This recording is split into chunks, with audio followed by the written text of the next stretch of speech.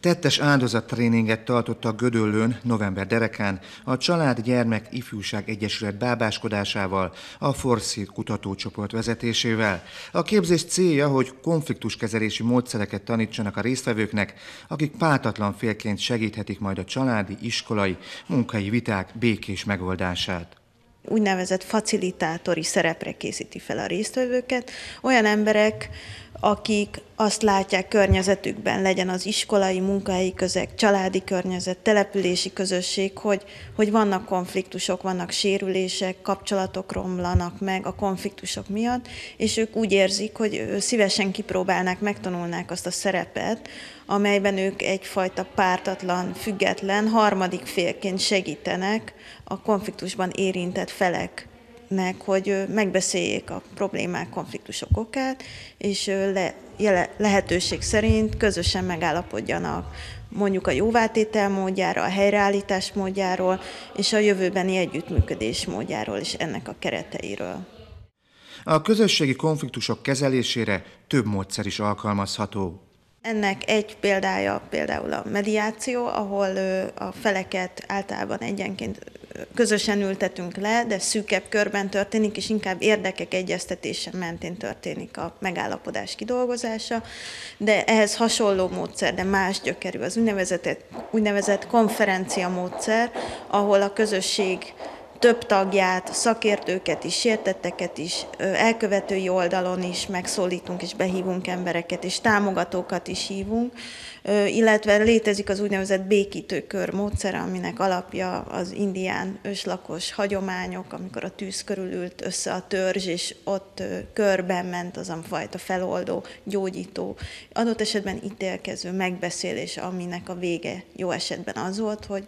aki a közösség ellen vétett, vagy valamilyen szabályt megszegett, vagy sérelmet okozott, mit tudna tenni, hogy a tettét jóvá tegye, és a közösség visszafogadhassa. Tehát ezek számos módszer, és csak párat soroltam el, amivel mi foglalkozunk. Ezen a tréningen most konkrétan a konferencia módszer gyakorlatát sajátítjuk el, aminek az alapja egyébként az új-zélandi maori őslakos közösségben, kimondottan a családon belüli döntéshozatali folyamat, mert a maori lakosságnál nagyon-nagyon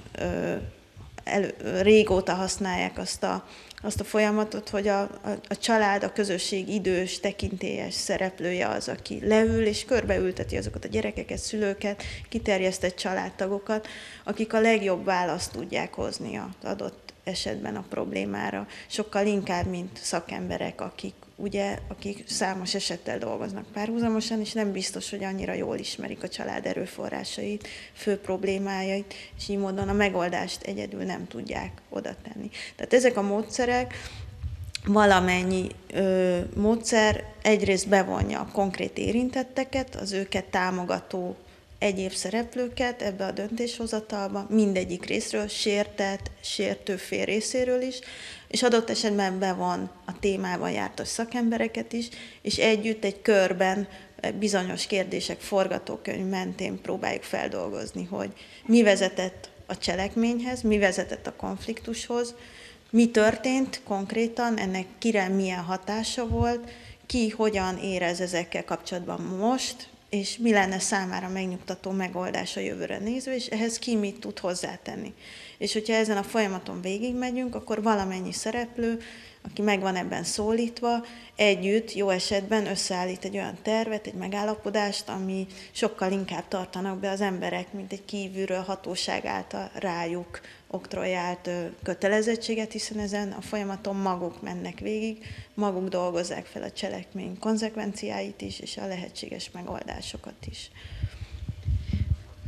Milyen hosszú a tréning, és miből áll?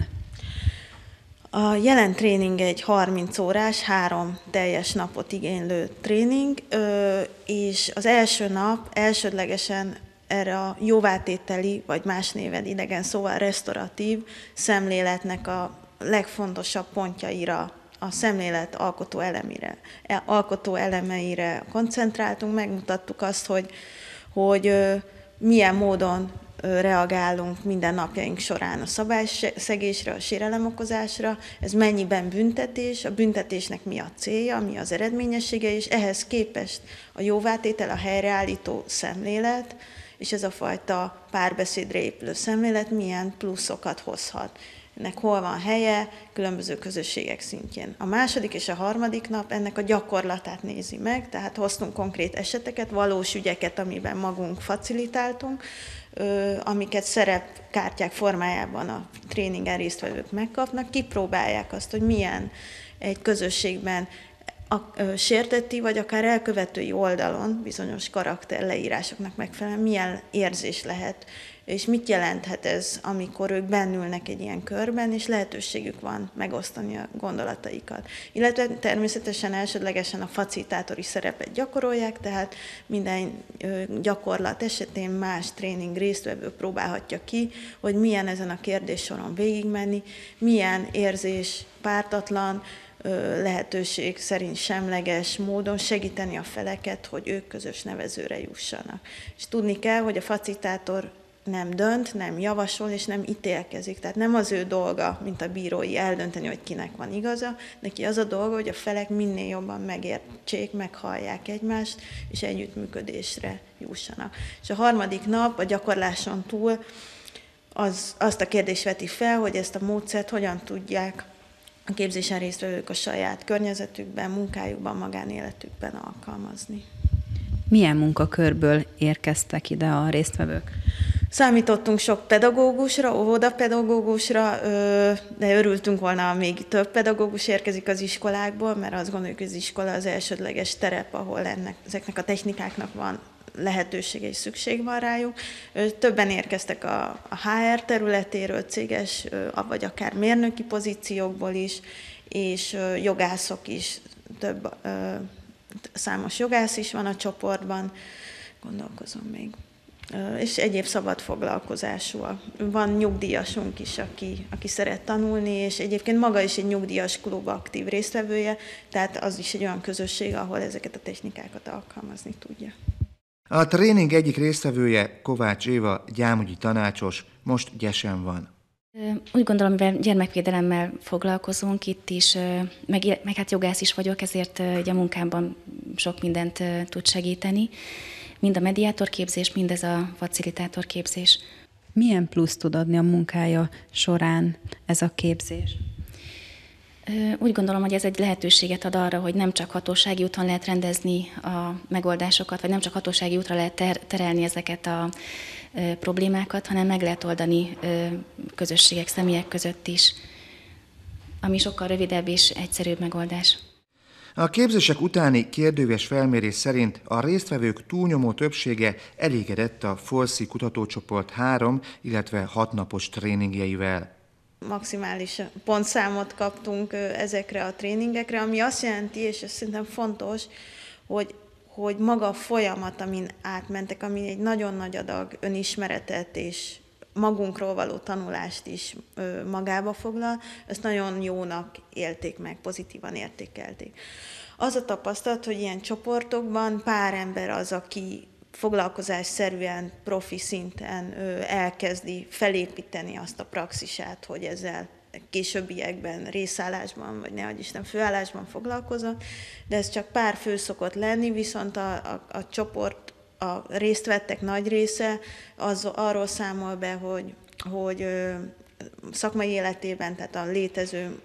szakmai életében és privát életében rengeteg technikát alkalmaz a mindennapok során, mert hogy ez ugye nem csak egy formális módszertan, hanem egy szemlélet, amit bármelyik hétköznapi helyzetükben használhatunk. És ennek a alkalmazásáról pedig közel százszázalékos szokott lenni a visszajelzés, hogy, hogy számosan technika van, és szemléletbeli módosulás, ami, ami nekik ö, hasznos volt. Magáról pedig a módszerek eredményességéről, amit azért könnyebb mérni, tehát hogy aki ilyen konfliktus rendező eljáráson vett részt, mondjuk konferencia modellben vett részt, vagy mediációban vett részt, az a tapasztalat, hogy ha már a felek eljutnak odáig, hogy leülnek egymással, akkor a megállapodások megkötése 80% fölötti, hiszen maga a módszer és ezek a lépések és ez a, ez a szemlélet azt mutatja gyakorlat, hogy működik, tehát a felek pontosan tudják, hogy ez nekik miért jó, miért érdekeltek abba, hogy egy ilyen úgynevezett nyertes-nyertes kimenetelben dolgozzanak maguk a megállapodáson, és, és mivel ők hozták létre a megállapodást és ennek pontjait, ezért be is tartják, tehát 90% fölötti a megállapodások betartása. Ugyanúgy, ahogy egyes mérések szerint a felek elégedettsége a folyamattal. Tehát például összehasonlítva egy bírósági tárgyaláson való közreműködéssel, részvétellel, ehhez ilyesmi eljárásokban felek elégedettsége magával a folyamattal nagyon magas, 90-100% között is szokott lenni. Persze ez országtól, tárgytól, ügytípustól függ, mert azért egészen más egy bűncselekmény érintettjei közötti megbeszélés, mint egy közösségi konfliktus, vagy egy vállási mediáció. Tehát ezekről együttesen beszélve, de ez a tendencia, hogy magas a megállapodások aránya, magas a megállapodások betartása, és magas az elégedettség. Ahol, ahol sok dolgunk van még, az, hogy felek nyitottak legyenek egymással leülni. Tehát ott van a nagy lemorzsolódás, mert sokan természetesen tartanak attól, hogy a velük konfliktusban álló másik emberrel szemtől szembe leüljenek, nyíltan, őszintén beszéljenek a érzéseikről, gondolataikról. Itt van a nagy munka még előttünk. Melyik szakterületen dolgozók részére ajánlják a leginkább ezeket a tréningeket? Hát mondanám, hogy bármelyik, ahol emberekkel foglalkoznak, de azt gondolom, hogy a, az oktatás rendszerében óvodapedagógusok, iskolapedagógusok, vagy nem is pedagógusok, hanem csak oktatási intézményben dolgozó valamennyi szakember számára a gyerekek ilyen módon való oktatása, nevelése, segítése és az intézményen belüli konfliktusok, akár a szülőkkel, kollégákkal, gyerekekkel és gyerekek egymás közötti konfliktusának kezelése hihetetlen előnyöket hozhat, nem csak azért, mert jobb lesz a klíma és békésebb lesz a, az élet az intézményen belül, hanem a gyerekek hihetetlenül fogékonyak ezekre, és ha megtanulják, maguk is sokkal könnyebben tudják alkalmazni, és adott esetben továbbadni társaik, szüleik, családtagjaik számára, nem beszélve arról, hogyha felnőnek, tudatosabban fogják kezelni konfliktusaikat. Ettől függetlenül ö, gazdasági szervezetek, dolgozói, HRS-ek, olyan emberek, akik a munkájuk során gyakran látják azt, hogy emberekkel dolgoznak, és bizony feszülések, konfliktusok vannak, nagyon nagy szeretettel látjuk őket, és tulajdonképpen bárkit, aki, akit, érint, akit érdekelnek a, a konfliktusok okai, keletkezése és, és jó, hatékony kezelése. Soroljunk fel jó néhány példát, hétköznapi példát hogy milyen helyzetekre tud megoldást ez a tréning, illetve ilyen képzésen átesik? Hát például, hogy az oktatáshoz visszatérjek, hogyha például egy, egy gyerekkel nehéz az iskolában, esetleg sok, sok veszekedés van, van vele, vagy nehezen tud figyelni az órán, és a tanárnak konfliktusa van vele, vagy esetleg olyan mondatok, szavak hagyják el a száját a gyereknek, ami megbántja a másikat ugye mondhatjuk, hogy küldjük el, vagy legyen magántanuló, de a kérdés az, hogy van-e olyan módszer, amivel itt tartható benne az iskolában, és nem kell, őt, nem kell őt elküldeni az iskolából, de mégis megérti a tettének a súlyát, következményeit, és, és tud ő maga is aktívan gondolkozni, hogy mit tudna változtatni ahhoz, hogy ez ne így legyen. De ugyanúgy egy, egy, most maradjunk az iskolánál, tanárok egymás közötti konfliktusára, vagy bármilyen intézményben, ahol, ahol egymással dolgoznak emberek, és bizony történnek sérülések, történnek nem vár dolgok, fejlemények, és, és, és a nyílt, transzparens kommunikációnak kéne megteremteni a feltételt, hogy például egy, hogyan tervezünk meg egy folyamatot,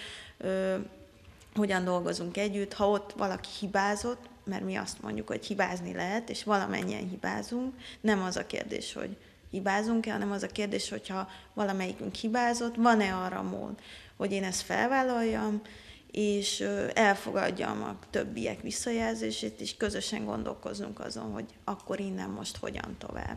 De mondhatom a családi kontextus is, ahol ugye a gyereknevelés számos, én is magam is két kisgyerek anyukája vagyok, számos olyan napi szintű helyzet elé hoz, hogy összevesznek, hogy esetleg bántják egymást, vagy hangos szó hagyja el a szájukat, és akkor a kérdés nem az, hogy ezt hogy lehet visszanyomni beléjük, hanem hogy hogyan lehet átadni nekik azt, hogy, hogy egyszerre képviseljék saját érdekeiket, érzelmeiket, szükségleteiket, de úgy, hogy, hogy ez a másikat ne bántsa. És ha mégis megtörténik, akkor hogyan lehet akár két óvodással is leülni és átbeszélni, hogy amit te most tettél, az nekem nagyon rosszul esett, és, és szeretném, hogyha ez is ez történne, és gyerekek akár óvodáskorban is már ragyogóan képesek és nyitottak ezekre a technikákra.